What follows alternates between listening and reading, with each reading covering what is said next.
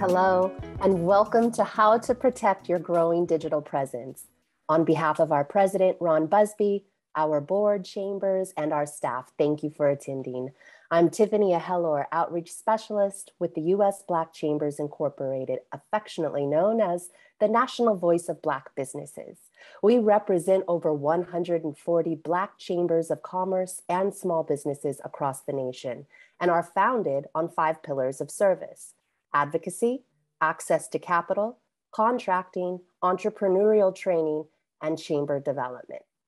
This series was crafted in collaboration with our chambers of commerce, providing technical assistance and resources to businesses across the US with the US Small Business Administration's SBA Community Navigator Program. Thank you for your assistance in developing and sharing this program. Today, we welcome a presentation by a cybersecurity specialist delving into digital best practices and protections to hedge against current and emerging threats. Our team at USBC, as well as our 20 Navigator chambers, look forward to being a resource to you and your business as you navigate through this journey. Before we introduce today's speaker, I encourage you to drop your questions into the chat and we will address as many as possible at the end of today's webinar. Mr. Justin Ellerman, Senior Vice President and Advisory Services Team Lead for Wells Fargo's Cybersecurity Client Office Group, has 15 years of cybersecurity and privacy experience in financial services. His previous roles include incident response, privacy operations, and cybersecurity strategy. Justin holds an MBA and industry certifications such as the Certified Information System Security Professional, CISSP, Certified Information Privacy Professional, US, CIPP, US, GIAC's Critical Controlled Certification, GCCC, and GIAC's Cyber Threat Intelligence, GCTI, and GIAC's Strategy Planning, Policy and Leadership, GSTRT. Mr. Ellerman, welcome. It is an honor and pleasure to have you. Thank you so much. And I will be sharing my screen here uh, before we get started. And hopefully everyone can see it.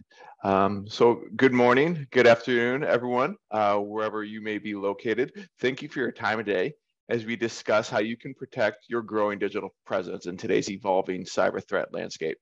Uh, as Tiffany mentioned, my name is Justin Ellerman, and I represent Wells Fargo's Information and Cybersecurity Program, uh, leading their client advisory services team. Um, and today, uh, we will be going through different topics to um, discuss how to protect your growing digital presence with for your small business. Uh, some of the topics we'll be covering today include today's current cyber threat landscape, We'll review some emerging threats, including phishing, business email compromise, ransomware, and some best practices for protecting your small business and accounts, and what to do in the event you're the victim of a cyber attack. But real quick, I just want to cover our disclaimer before starting the presentation. The best practices we're covering today are for informational purposes only. It's not meant to address every cyber risk, and the information discussed today is meant to help our customers protect themselves from cyber risk, as well as highlighting this industry best practices for operating in a more secure manner. manner. We can't cover every cyber risk or mitigation activity, and it's up to all of you to determine what is appropriate given the size and scope of your business. So to level set before we before moving on, I'd like to cover some key cyber concepts that you'll be hearing th about throughout today's presentation. Phishing usually comes through email, but can also be carried out through text message known as smishing and over the phone as vishing. I'm sure you're all familiar with what phishing emails are and have probably received many in the past. Essentially, they are used to gain trust, to gather information to carry out further attacks, or deliver malware to your computers. Malware is a type of malicious code used to exploit in a known vulnerability to gain access to your systems and is usually delivered through an email link or attachment. Ransomware takes this a step further as ransomware will encrypt all your data and render it useless until you pay a ransom to the bad actors, typically in the form of cryptocurrency. And finally, there is business email compromise, where someone takes over an email account to impersonate a known partner and supplier to facilitate a fraudulent payment. All of these are related as phishing is typically used as an initial step in carrying out a successful BEC or ransomware attack. And actually, nine out of 10 cyber attacks involve phishing emails to some degree. The severity and scope of, this, of the threat landscape overall is only expected to grow. Looking at some of the numbers on the screen only emphasizes the state we face today and how serious everyone should be taking the risk, not only with your small business, but in your personal lives as well. The main motive for attackers is usually money, and they'll continue to find new ways to create more sophisticated attacks, which in turn increases the risk for all of us. Besides the large monetary impacts caused by cyber threats, the biggest thing to focus on here is how important phishing emails and strong passwords are for protecting your information and accounts. Now, digging into some of the threat specific metrics, we can see how cyber attacks have really taken off during COVID. As there were a lot more opportunities created with people working remotely, strains on the supply chain, and more reliance on e-commerce. And ransomware is a high profile cyber attack that gets covered in the news in what seems a weekly basis. But actually, it's not the most frequent cyber attack, as business email compromise was reported to the FBI's Internet Crime Complaint Center five times more often last year. The total losses have increased over 40% since 2019. Software vulnerabilities, which is the main method ransomware and malware can penetrate your systems, has significantly risen since 2018. This is mainly due to our connectivity to the internet and reliance on computer software for so much activities in our daily lives. You may want to rush to download the newest iOS or application, but many times critical security vulnerabilities are found early on after their release.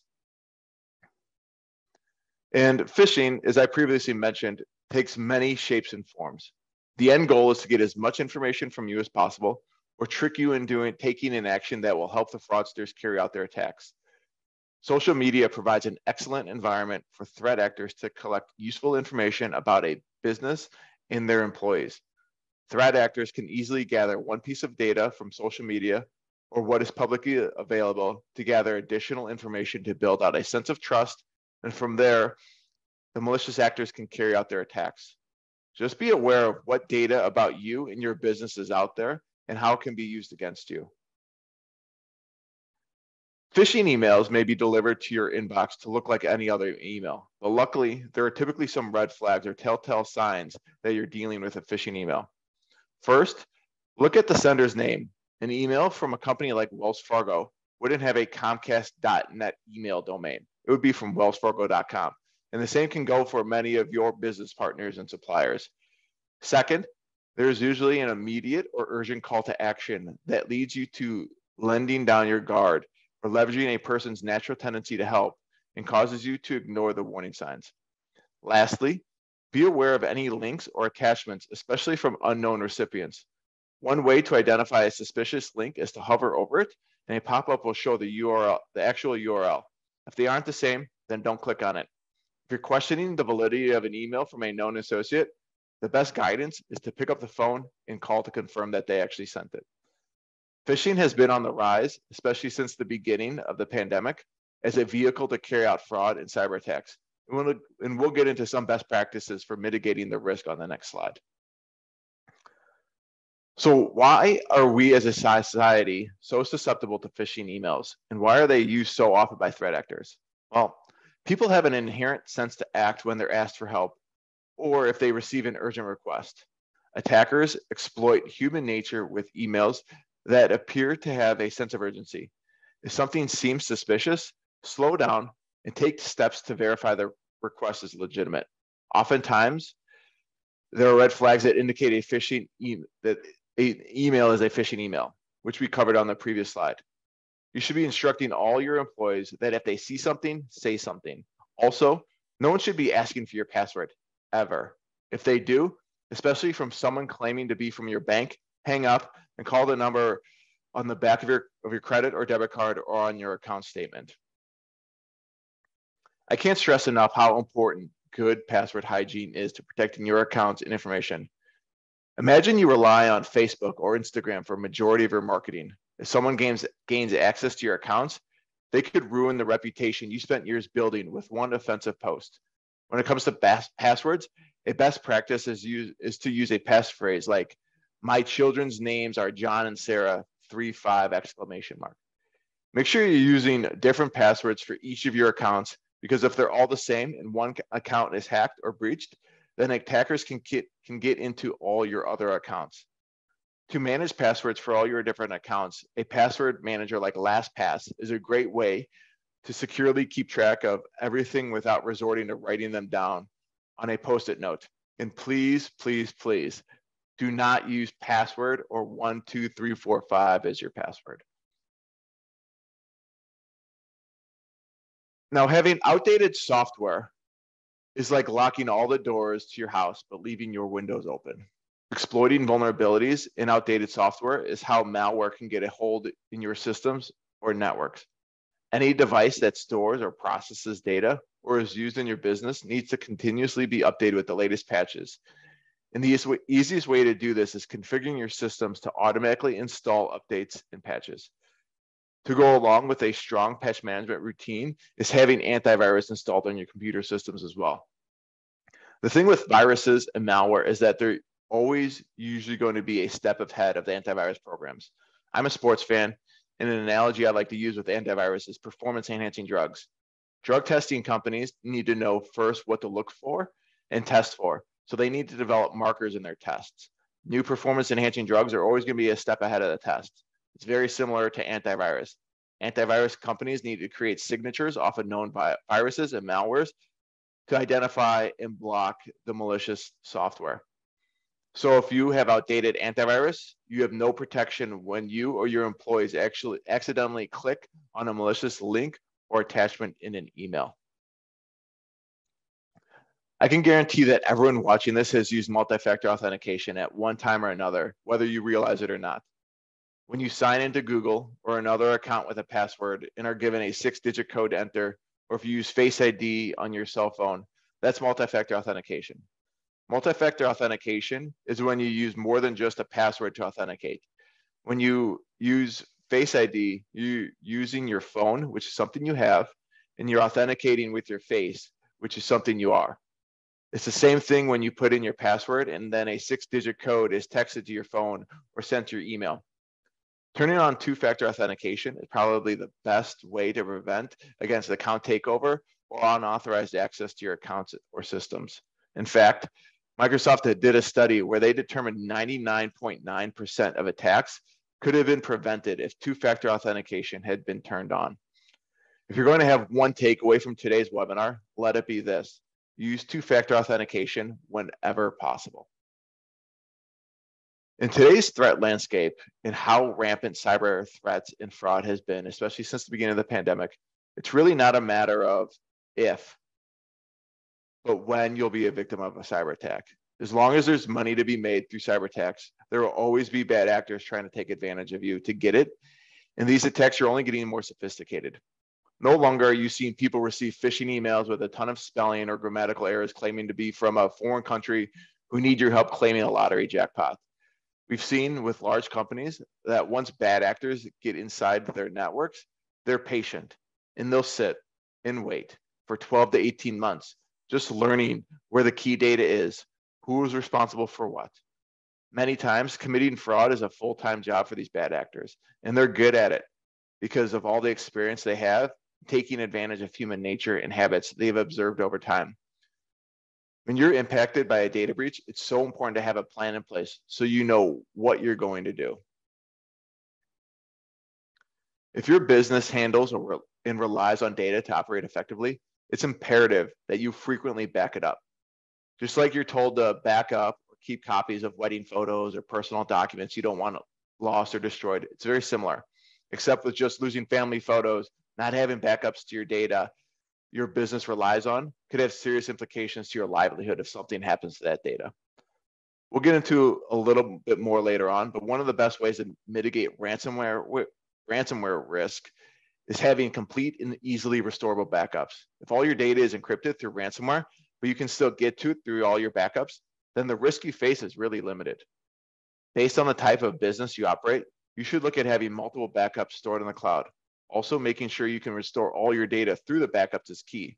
If you aren't testing your restoration process or don't know if your backups are working as intended, then there's not much point to having a backup process because you won't be able to confidently rely upon it when you need it most. As I mentioned a couple slides ago, businesses need to operate as cyber attacks are not a matter of if, but especially but when, especially in today's cyber threat landscape. Because that's the unfortunate case, businesses because that's the unfortunate case, businesses need to plan for when that happens. It's also not just planning for what to do or who you'll contact when you're impacted by a cyber attack, but how you'll continue to operate if one of your key suppliers network is out or you can't complete an order what if you are a restaurant and solely relied on DoorDash for deliveries and they were unavailable? Having contingencies in place, like switching to Uber Eats, is key to ensuring the business you've spent so much resources and effort building can still operate. The last thing you want is to be thinking about these types of scenarios or developing a plan when you're in the middle of an incident or a crisis. Develop, develop a plan for the most likely scenarios or for your critical suppliers, practice it, and then communicate it to your staff so they're aware of what to do and who is responsible for what. The FCC has a great resource called Cyber Planner, which can help you get started. In my opinion, I would say that besides enabling multi-factor authentication and having strong password hygiene, being aware of the latest cyber threats and fraud schemes through a strong security awareness routine is one of the most important things you can do to protect your small business. You can easily do this by setting up Google alerts that send you cyber related news articles, or you can do your own research. Large organizations like Wells Fargo dedicate entire teams to cyber threat intelligence, where they are constantly looking for the latest breaches or tactics being used by malicious actors so they can learn from them and integrate the lessons learned to strengthen their own cyber programs. Then relying this information to your employees is, is just as important because well-informed employees can help identify and prevent many cyber attacks. Employees are usually the first and last line of defense when it comes to many attacks and fraud schemes, especially when so many attacks start through email.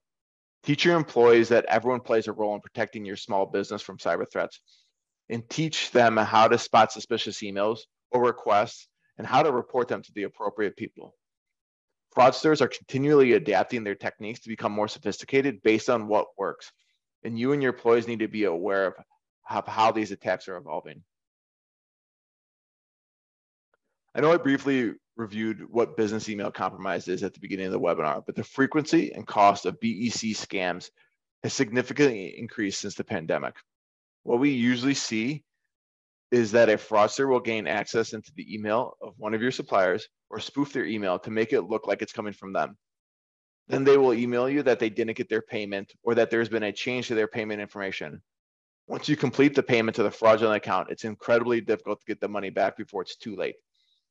If you receive a request like this that seems a little suspicious, pick up the phone and call a known contact.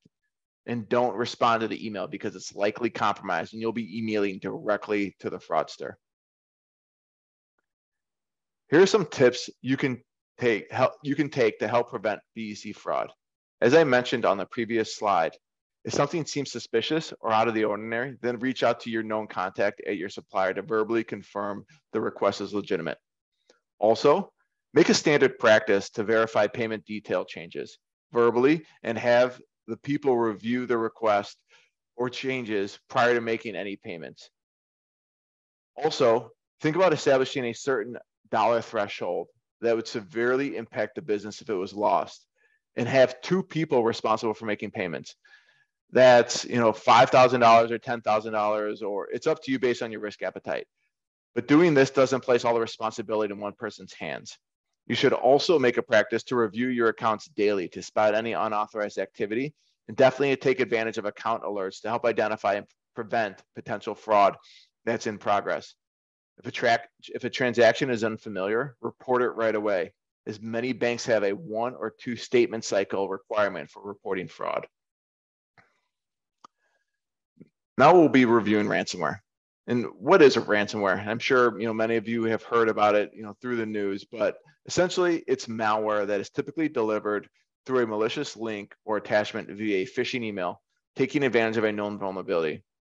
Once an attacker gains access to your network and data, they will encrypt your sensitive data, rendering it useless unless you pay a ransom to obtain the encryption key. The ransom is typically paid in cryptocurrency like Bitcoin because those transactions are virtually untraceable. Most companies end up paying because they can't afford the downtime. And because you're not dealing with the most ethical people, companies only end up getting about two thirds of their data back. As I mentioned, a typical ransomware attack is carried out through a phishing email. The malware gains access to your system, exploits a vulnerability in your network due to an unpatched system or application. It encrypts the data, and then you're locked out of your data until a ransom is paid. Sometimes they'll even put a time limit to pay before destroying all your data just to increase the pre- pressure to act quickly. Now we've even started to see double and triple extortion methods where attackers will threat leaking the impacted data or contacting the individuals whose data has been breached. This is why it's so important to have a plan in place to handle attacks like ransomware. With so many companies being targeted and falling victim, you might be wondering what can a company do to protect themselves? Some of the top safeguards include web content filtering, which helps prevent attacks starting through malicious links found in email. Also, one of the most important steps is a robust data backup program, as I mentioned earlier. If all your data is routinely and securely backed up at an offsite location, then if you fall victim, you can just restore to the most recent backup. The only problem with this is that it can be expensive and time consuming if you don't have a strong backup program that is frequently tested. As I mentioned during the phishing email prevention slide, a strong email proxy is key for stopping ransomware being delivered through phishing emails. And making sure your software and systems are patched against the latest vulnerabilities will prevent the malware from gaining a foothold in your environment by exploiting vulnerability. User awareness training, as I've mentioned throughout, is key in, in identifying and reporting potentially malicious emails. And then having a plan in place is one of the top things you can do. Being prepared for the inevitable attack, what steps you'll take, and who you'll engage. We even, we've even seen companies as part of their ransomware playbooks opening a cryptocurrency account because it's incredibly difficult to come up with a million or two in Bitcoin overnight when you have a 24 hour time limit to pay the ransom. So we've covered a lot of topics today, and I'm sure you may be a little overwhelmed with all the things you have to think about from a cyber perspective while ensuring your businesses are operating efficiently and profitably. As you start to think about what you should focus on and where to spend your money, it's important to start with a risk based approach by asking yourself, what are your most important assets that you want to protect? And where can you get the most bang for your buck? Shop around to see what vendor provides the best security features at a reasonable cost. Many internet service providers have security features built into their subscriptions, and the same goes for payment processing companies. Many security providers have bundled packages that give you a full suite of protection for your network and data, so you aren't dealing with three or four different companies. At the end of the day, you want to make sure that you have the appropriate level of control given the, the value of the asset you're trying to protect. Of course, you don't want to spend $100,000 protecting an asset that's only worth $10,000. I just want to take a few minutes to summarize some of the key takeaways from today's webinar. Make sure you have strong, unique passwords on all your different accounts.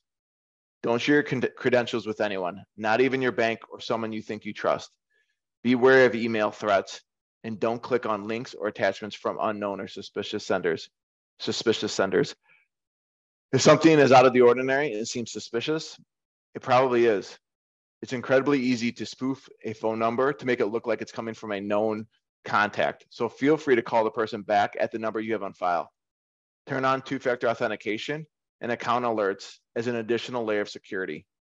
For high risk transactions like changing supplier payment details, Make sure two people are responsible for completing them to limit the risk and spotting suspicious activity and confirm the, the payment changes to the phone. I know I've mentioned today that, that today's cyber threat and fraud environment is continuously changing and growing. But fortunately, taking some of the key points from today will better prepare you to mitigate much of today's cyber risk. As we start to wrap up, I want to provide some additional resources for what you should do if you're the victim or are the target of fraud. Change your passwords immediately. Notify your bank that you're a victim of that you're a victim of fraud, as they can take extra precautions like locking your account or adding enhanced fraud monitoring.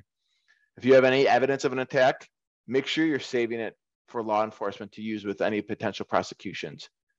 If you find yourself to be a victim, make sure you file a report with your local law enforcement and with the FBI through the Internet Crime Complaint Center and with the FTC.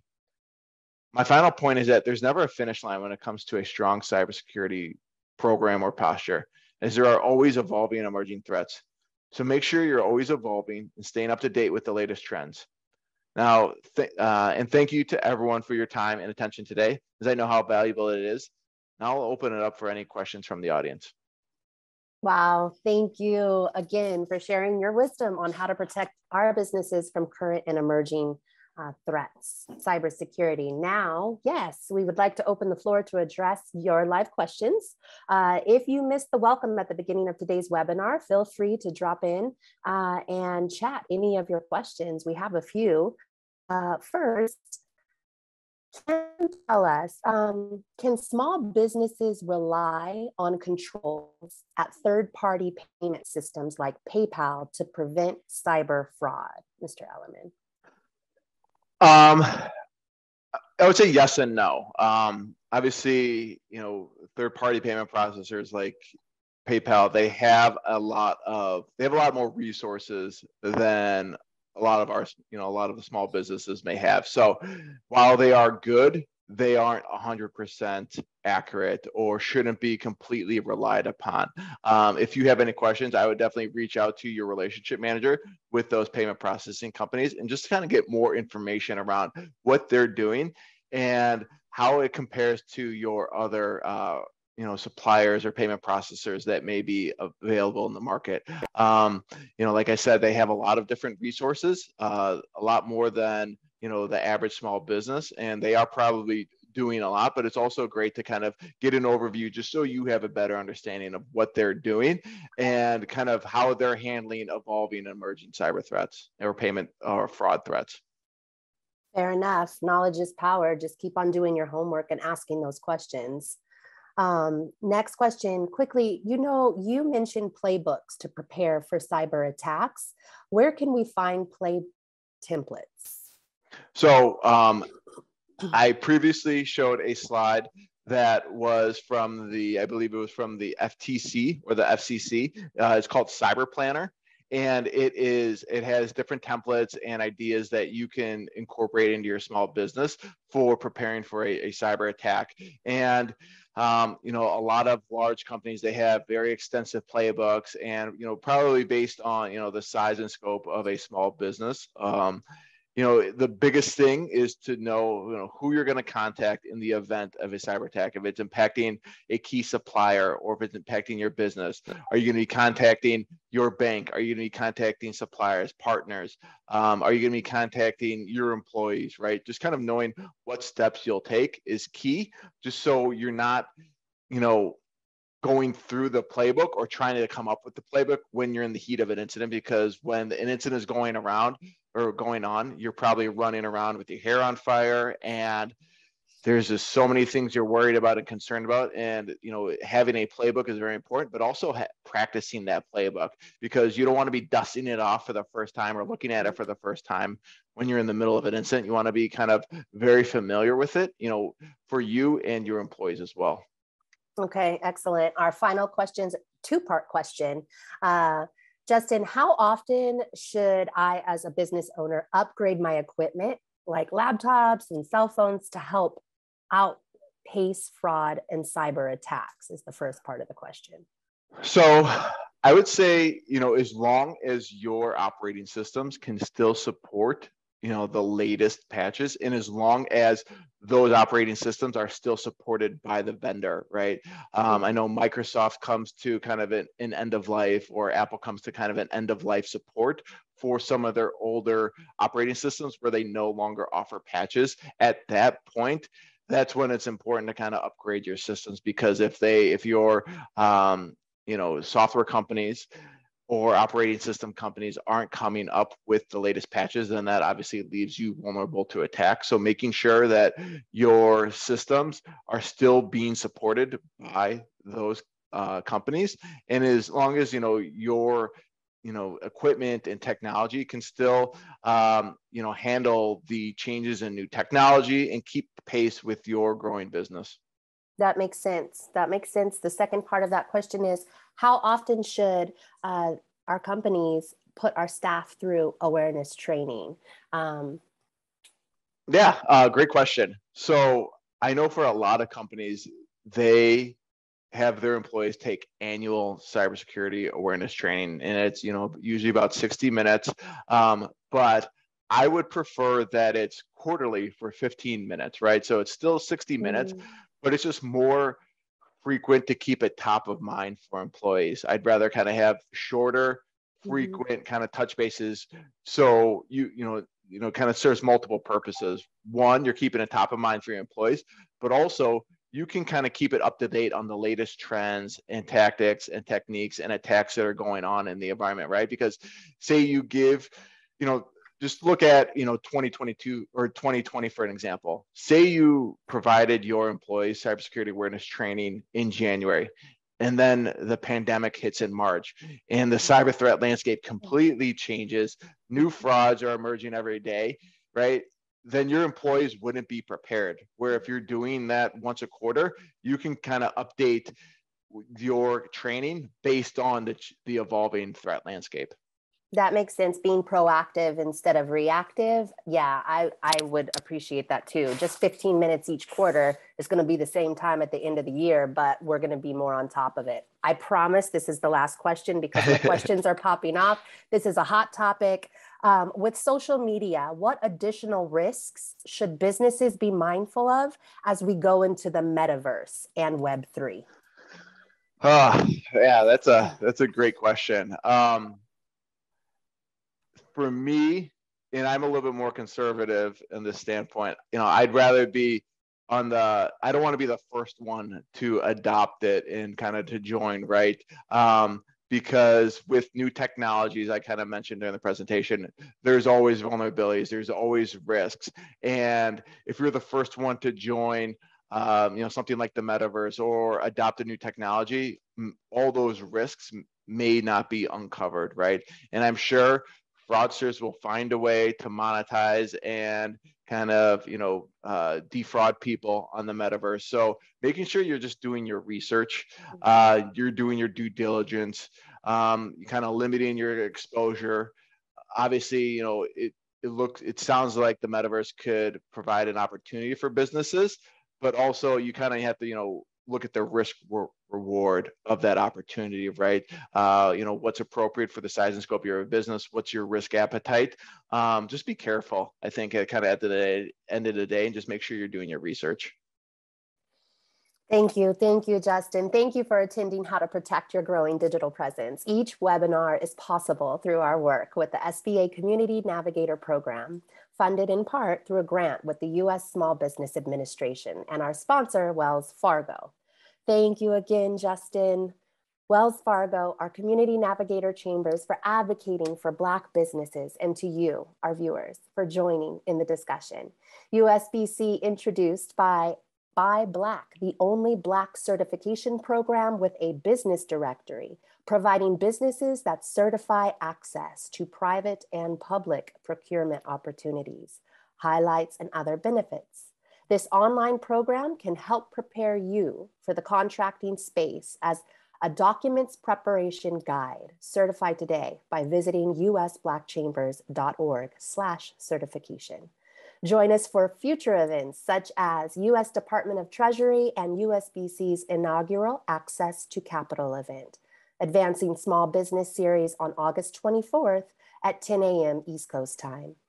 Discover to improve contracting success with the Procurement Technical Assistance Center, PTAC, on August 30th at 11:30 East Coast time. Navigating Cash Flow Part 1 with Chase on August 30th at 1 p.m. East Coast time. And finally, patents, trademarks, copyrights, and trade secrets on September 9th, 12 noon East Coast time.